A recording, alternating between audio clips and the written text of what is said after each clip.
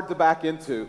Now, there's some good ones that you can get into if there's no trees, but especially if you want to be in the woods with lots of trees, those are sometimes hard places to back into. This summer we went camping in West Virginia at a, a park I'd heard of many, many times, heard about people going to it growing up and never been there. And so you, when you do this, you, you sign up online or you, you register online, reserve your spot online, and you just kind of hope that you'll fit. Like, because it was, I was right on the edge, like the length of the camper and the site, and just kind of hoping. So we pull in, and it's lots of woods, and you wind around, and, and this is actually the, the spot that we ended up in. It was just a great spot, beautiful, but it was really hard to back that camper in there. And there was space lengthwise to, to pull it off, but you, can, you can't really see, but kind of back there at the road, it was, the road was narrow, and there were trees on both sides and little signs. And so it wasn't the camper wasn't the problem. It was my truck that every time I turned it, like it would kind of, it would almost hit those signs. It took, and this is really frustrating when a husband and wife are doing this this thing, and like you're trying not to be frustrated with one another. And she was doing, Charlotte was doing a great job on this one for sure. But uh, it took us a few minutes to get into this one because great campsites are sometimes hard to get into. My favorite campsite of all time is, is this one over in Gatlinburg. You can see that's just beautiful. Um, you may not know this about uh, Tim and Trudy. They owned this campground. This was their campground before they moved to West Tennessee. Um, it's so much prettier in West Tennessee, isn't it? I'm just kidding. Um, it's beautiful, beautiful campground. And this, so we, after we found out that they owned it, we're like, we should go check it out. And boy, this campsite is spectacular. Here's the crazy thing about this particular site it's tucked back in the corner of this fairly large campground, obviously, great spot. But if I were to try to back into this campsite, I wish I could show you the rest of the campground on my own, I'd never make it. And so what they do is when you arrive at a camp like this campground, they send somebody with you to your campground or to the campsite and they stand right beside your window and every time this happens Charlotte like celebrates cuz she doesn't have to help me back in and they stand right beside you and help you back in. What's interesting about this site, I feel like they put you about 150 feet from the actual campsite, and then they it's your wind between campers and trees, and you got the, the creek over there, and it's this long process. But here's what's amazing the person standing right there at your window, he knows exactly what to do. He'll say, half a turn to the left, full circle, all the way to your right. And it's this back and forth, back and forth, and he knows exactly how to get me winding around in there, and eventually, and if I had to do it by myself, it would take you probably, at least I'd like to tell myself, I could do it eventually, but boy, it would be really difficult. There are things that in life like this that we think we can do on our own, but the reality is we can't. You got to have some help, or you got to have somebody there to guide you back in this camper up. And I think life is a lot like that. And I think our battle with sin is a lot like that. Most of us, I believe, are trying to do what's right. We want to overcome sin in our lives. But I'm guessing for most of it, it's a consistent struggle, isn't it? Whatever your biggest sin struggle or two or three sin struggles are, I'm guessing this morning you haven't just like mastered that yet, right? You're still struggling. It's this ongoing, consistent battle to overcome this sin in your life, and we want to.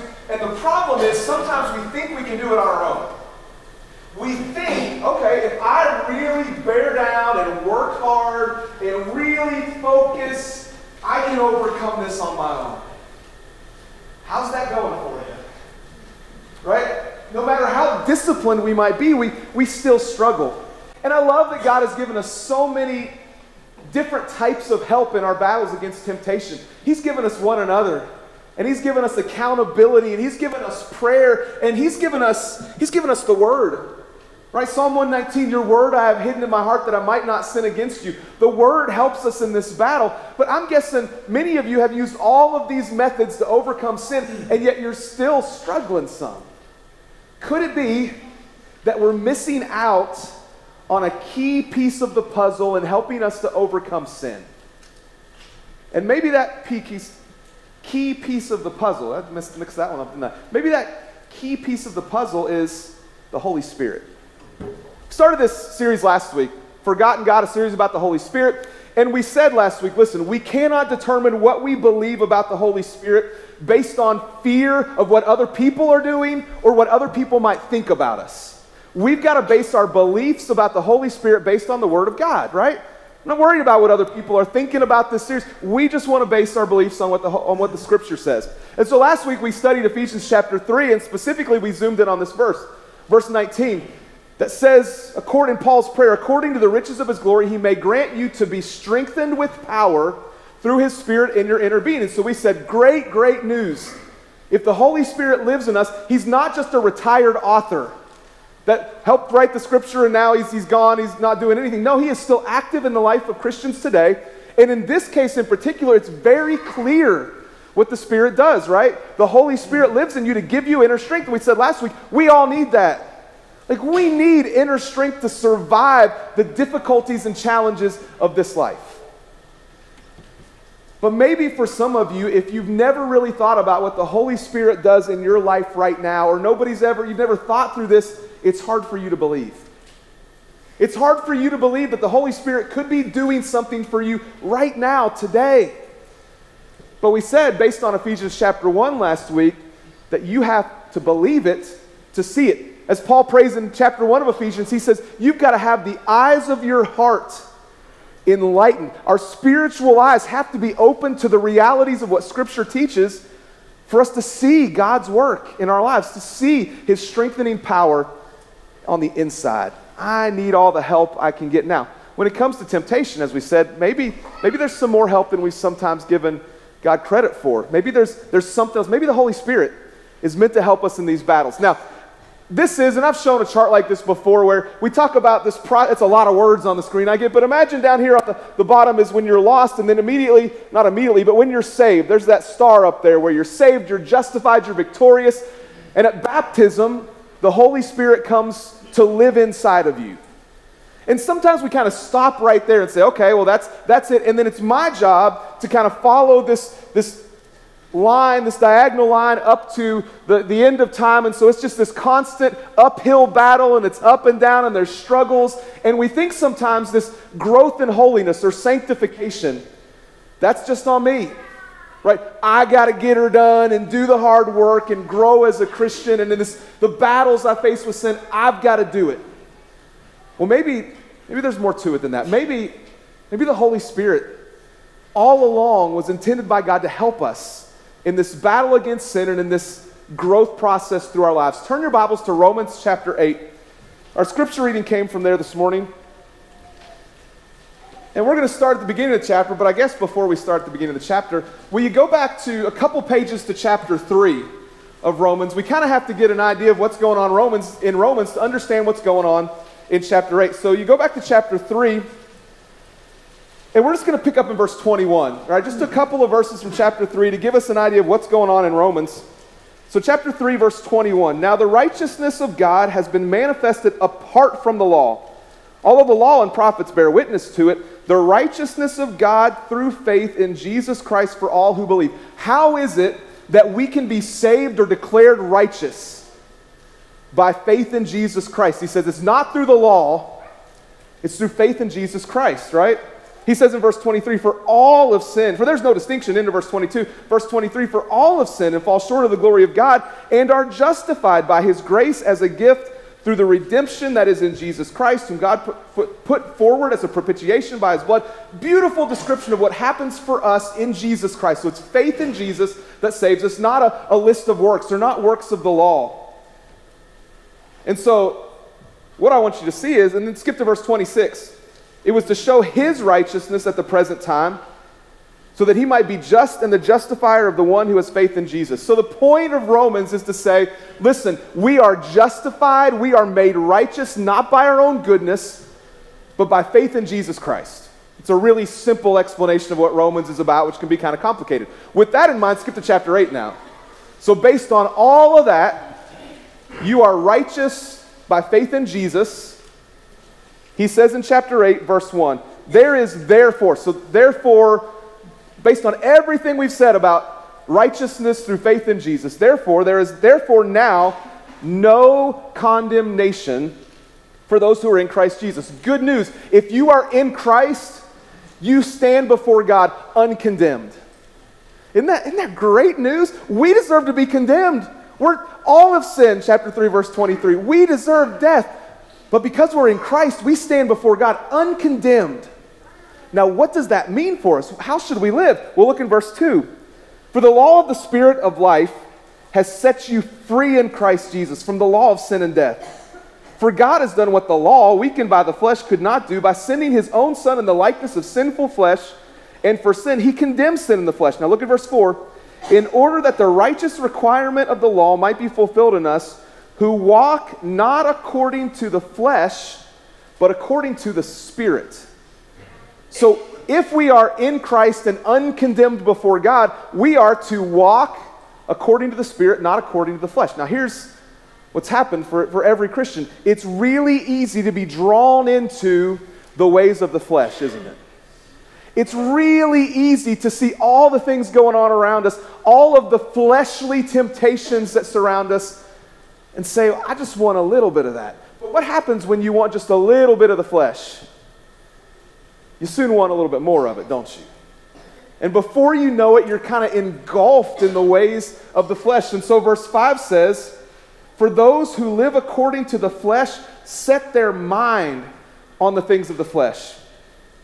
But those who live according to the Spirit set their minds on the things of the Spirit. Here's what this looks like. Have you ever been distracted by something that wasn't necessarily bad in and of itself? But pretty soon you didn't just think about that thing, that thing kind of controlled your mind, it engulfed your mind. You had set your mind on some fleshly thing like comfort or money or food or sex or control. Like all of these fleshly things that, that God created for us to enjoy. But boy, when you set your mind on those things, pretty soon they consume your mind. And now, how are you living? You've set your mind and you're living according to the things of the flesh, not the things according to the Spirit. So we're called to live according to the things of the Spirit. So look at verse 6. What happens? Here's the question What happens when you let fleshly things consume your mind? To set the mind on the flesh, verse 6, is death. But to set the mind on the spirit is life and peace. For the mind that is set on the flesh is hostile to God, for it does not submit to God's law. Indeed, it cannot. Those who are in the flesh cannot please God. So we say, God, help us. We don't want to be people who've set our minds on the flesh and therefore do not please God and therefore will die. Like spiritual death is the result of setting our minds on things of the flesh, allowing our minds to be consumed by that. So, what do we do? How do we become people who've set our mind on things of the Spirit? Well, he answers the question, doesn't he? Look at verses 9 through 11. Check this out. You, however, are not in the flesh, but in the Spirit, if in fact the Spirit of God dwells in you. How do you ensure that you're a person who's not consumed by the things of the flesh? You remember, oh yeah, the Spirit lives in me, so I'm going to be a person who's focused on the things of the Spirit. Anyone who does not have the Spirit of Christ does not belong to him. But if Christ is in you, although the body is dead because of sin, the Spirit of, is life because of righteousness. Now listen to this. Here's this kind of conclusion. If the Spirit of him who raised Jesus from the dead dwells in you, he who raised Christ Jesus from the dead will also give life to your mortal bodies through his Spirit who dwells in you. Good news. Like we have life because the same Spirit that raised Jesus from the dead lives in us. So we're not people who are focused on the things of, of the flesh, we're people who are focused on things of the Spirit. So what's that look like? Next couple of verses, verse 12. So then, brothers, we are debtors not to the flesh to live according to the flesh. And then you've got this line that we've kind of already heard already in verse 13. For if you live according to the flesh, you will die. We've established that already, right? If you let your mind be set on fleshly things and be consumed by them, eventually that's going to lead to spiritual death. All right? So we got that settled. But look at the rest of the verse. But if by the Spirit, that he just said dwells in us, right? If by the Spirit you put to death the deeds of the body, you will live. So it's kind of kind of wordy. So think about another translation. The today's NIV, the TNIV says this. It says, "But by the Spirit's power, you can put to death the sins you commit, then you will live." What's that phrase put to death mean? That's the same word found in Matthew chapter 26 when it says the Pharisees and the religious leaders were seeking people who would lie about Jesus so that they might put him to death. What are they trying to do to Jesus? kill him, right? So the language here is you are to kill sin in your life, right? How can you do that? How is it that we kill sin? And usually we say, well, we do it by prayer and accountability and by filling our hearts with the Word of God. Absolutely. But if there's help there that I need, there's help there that I wasn't aware about, I want all the help I can get. Listen to what this verse says. It says that it's by the Spirit that we kill sin in our lives. Here's the simple, simplified version of this. By the Spirit, you can kill sin. Now you say, okay, Matt, that's, that's fine, but He's talking about the Word of God, right? The Spirit inspired Word of God. Well, like we said last week, Paul knows the difference between the Word of God and the Spirit of God. And if he wants to say that the Word of God helps us to overcome sin, he can and he will. And he does at times talk about the power of the Word, the sword of the Spirit, not the Spirit himself. There's a difference between the sword of the Spirit and the Spirit. And here he just says it's the Spirit or by the Spirit that we're able to overcome or kill sin in our lives which means when you go into battle with sin, you are not alone. Because it is by the power of the Spirit that we can overcome sin. You say, well, Matt, I don't understand exactly how that works. I don't either. But if Scripture tells me that He does, that the Spirit helps me, then I'm going to choose to believe it. Because I need all the help that I can get when it comes to overcoming sin. By the Spirit, we kill sin. Now, do you have a part to play in this? Yeah, it says you put to death the deeds of the body. You kill sin, but not on your own. It's by the help of the Spirit or by the power of the Spirit. I guess it was last week I told you about going to uh, Glacier National Park. and It was the first time I'd ever been to a park where I saw a sign like this. Had never been somewhere where all of a sudden it's like you're entering grizzly country. And if I'm honest, when I first saw that sign, I thought, ah, that's a little bit overboard, right? I mean, this is, come on. Not really. We're not, I mean, Sure, but we're not going to run into a grizzly bear. Chill out a little bit. And they got the little bear spray sign, like if you're going out hiking, take some bear spray. And we saw that sign. We had kind of gone on this little short hike. It was evening, later in the evening. And so then we, on our way back to uh, where we were staying, there were several cars parked in the road. And about 50 feet off the road were three grizzly bears. And then I realized, oh, wait, there are really grizzly bears here. Like, this is, this is not a joke. And so we had some big hikes planned the next day. And Charlotte said, Listen, if you're taking me and the kids on this hike, you're going to get some bear spray. And I kind of rolled my eyes and was like, whatever, fine. So we bought some bear spray. And I was playing kind of tough, but I'm kind of glad we had some bear spray, right? Because if we, uh, turns out there are grizzly bears there. Now, some of you who are really tough, like, oh, you don't need the bear spray. Well, yeah, you're also the ones who are carrying pistols with you everywhere you go, right? So it's easy for you to say, you don't need any bear spray. I didn't have a pistol on me, so yeah, I wanted some bear spray, and I'm glad I had. I'm glad I had some bear spray because going into grizzly country with my family, I don't want to go into that alone, right? Isn't it good to know that as we battle against sin, we're not going into battle with sin alone. Now, you say, well, of course not. We've got our church family. That's awesome, but I don't take my church family everywhere I go. We're, we're on, there are some days that you feel mightily alone, don't you? Especially when we're battling temptation. Good news the Holy Spirit is with you every day, wherever you go in your battle with sin. And He's the reason that you can overcome sin. You're not in this battle alone. And so I came with, up with a, a cheesy rhyme. Like I said, this is a repeat of a series we did four years ago, so maybe you remember my rhyme. Probably not. It's not great, but hey, if it'll help you remember, we'll go for it. Here it is. You can't win against sin without the Holy Spirit within. Pretty good, right? Pretty. I should be a poet. I'm a poet and didn't know it. You can't win against sin without the Holy Spirit within. We need the Spirit's presence and we need His help in this battle with sin. And these aren't my words. Romans 8, this is, this is Paul who says it's by the power of the Spirit that you kill sin. Now, I get that you might say, well, well, what's that look like? And I don't know exactly. Kind of what I imagine is this instead of saying, when I'm tempted and a, a thought comes to mind that helps me overcome that sin, we we quickly say, well, that's just my conscience. Well, couldn't we say that's the Spirit? That's the Spirit reminding me and, and prodding me of, of ideas and thoughts that'll help me avoid sin. And so it's the Spirit living within me that, that helps me to overcome sin. It's by His power. Now, still, you're left asking, okay, well, that's great. We could just stop here and say, this is good news. How?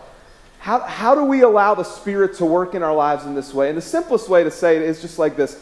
We've, well, yeah, I'll go back to here. You know, this, this pathway of this uphill climb and the, the path of life, great news. The Holy Spirit helps you with this, right? But I come back to this question and say, okay, how do I do this? And I think the simple answer is this we've got to cultivate an environment for the Spirit to work. For the Spirit to help me to overcome sin, i am a part of the process, right? Again, Romans 8, verse 13 says, You kill sin by the power of the Spirit. So I'm involved in this. How can I, how can I cultivate an environment for the Spirit to work in my life? You understand that in, if you're planting anything, right, you got to have the right environment. Brother Danny's a great gardener, right? I was thinking the right, I was about to say a planter. He plants things and it grows, right? That's good. When I plant things, they don't usually grow very well. We struggle with this a little bit around our house. Several years ago, um, I got the idea that I was going to have buy a rhododendron. They had rhododendron at the um, the big nursery in South Jackson, uh, and so they had a rhododendron. That's special to me because a rhododendron is the state flower of West Virginia. And I saw it and I was like, oh, I'm going to have a rhododendron in my yard because West Virginia and all. I was real proud. So I planted that thing and watered it every day. And it took about three months until it looked like that. Don't laugh at my plants, man. The great thing is, at this particular nursery, nursery, you can take it back and get your money's, money back. I probably didn't say um, this was my fault. Here's what happened here. I planted, I thought I was doing the right thing, but I planted it in our front, front yard, and there, we have a couple small trees. There's no shade. It's in the sun all day long. Turns out, rhododendron does not grow in the sun. You got it's in the mountains, in the shade, in the hills, and all that kind of stuff. It just didn't work because I did not cultivate the right environment for it. If the Spirit is going to work in our lives, we've got to cultivate the right environment for Him to work in our lives. How do we do that? A couple of things. Number one, daily repentance. This is daily acknowledging my sin and my struggle with sin and my desire to turn around and go the other way. Sin's not going to go away. I'm going to keep struggling. But this is this is acknowledging my struggle. And I would say this is more than just acknowledging daily my struggle and my need for God and his help. It's trying to search out the root causes of my sin. Let's imagine that out here in the parking lot afterwards, that somebody, one of you pulls out in front of me. And it's not a big deal, but I kind of hit my brakes. And then I roll down my window and I scream at you. I mean, I scream. I don't, I don't cuss at you, but I scream at you. And I give it to you. When all that's said and done, you would say, uh, Matt probably sinned by screaming at a brother or sister in Christ in the parking lot after church. And you would be right. Now, I could say, oh, I'm really sorry about that. Is the root problem there bad drivers irritate me? No, if I am losing my temper in that way on a regular basis, there's something going on deeper than just bad drivers irritate me, right? There's something I need to deal with in my heart. And if the Spirit is going to help me overcome sin, then I would say the Spirit probably helps us in this discovery and thinking through and praying about the things that are going on on the inside. So, daily repentance. Number two, it's going to take daily belief. It's going to take saying, okay, so scripture tells me that the Spirit lives in me, He strengthens me in my inner being, and He's going to help me overcome sin. I need that reminder daily that I'm not on my own. Just preparing for this sermon series has been the consistent reminder that I need to be reminded daily oh, wait, I'm not on my own. I've got the Spirit. There's so much strength that can be, can be gained just by believing what Scripture says and daily reminding myself, I'm not on my own, I'm not on my own, I'm not on my own. The Spirit lives in me to help me with this. But I think we also, to cultivate the right environment for the Spirit to work, we need to pray deeply. You know the difference between a shallow prayer and a deep prayer. Now, God hears all of our prayers, but maybe the shallow prayer is the prayer that we pray before lunchtime today, right? We're hungry and it's kind of a quick, we acknowledge, we thank God for what He's given us. But when we say deep prayer. We're talking about the, the, the alone prayers when we are begging God for help and we're asking God to, to stamp out the temptations in our lives and help us to overcome this. It takes deep, thoughtful, heart level prayers about the things that we're struggling with if we're going to cultivate an environment for the Spirit to work. And connected to that, we need to pray in detail about our most consistent sins. Think about those two or three things that, that you struggle with the most. But there's a long list. We could go to the works of the flesh in Galatians chapter 5, right? And think about all those different areas that we might struggle in. That doesn't even include everything. Those two or three things. Now, I think it's easy to stop here and just think about the big stuff, right? Lust or greed or something like that. Well, what about like jealousy or gossip or some of those things that we kind of are, are, maybe we feel as if they're kind of lower level. What about those sins? When was the last time you prayed deeply about the sins that you struggle with the most? If we're going to cultivate an environment for the Spirit to work, I've got to pray in detail about my most consistent sins. And then I think we've got to really worship God with our hearts to cultivate this environment. Which means when we gather on Sunday and do what we've done this morning, that prepares us. Like, like Nathan was talking about in the Lord's Supper, when we think about Jesus in the Lord's Supper, and when, we, when we're really worshiping with our hearts, I walk out of here encouraged and on fire and, and helped, cultivated. My heart is cultivated for the Spirit to work. You say, is there really a, a connection between the Spirit and worship? Well, you know Ephesians 5:19. You could quote it, right? Addressing one another in psalms and hymns and spiritual songs, singing and making melody to, to the Lord with your heart. You know what's right before that? We'll talk about this verse next week, verse 18. We don't refer to verse 18 as much, but be filled with the Spirit. And then it's addressing one another in psalms and hymns and spiritual songs. Turns out that when our, our lives are filled with the Spirit and His fruit, that leads to more heartfelt, heart deep worship.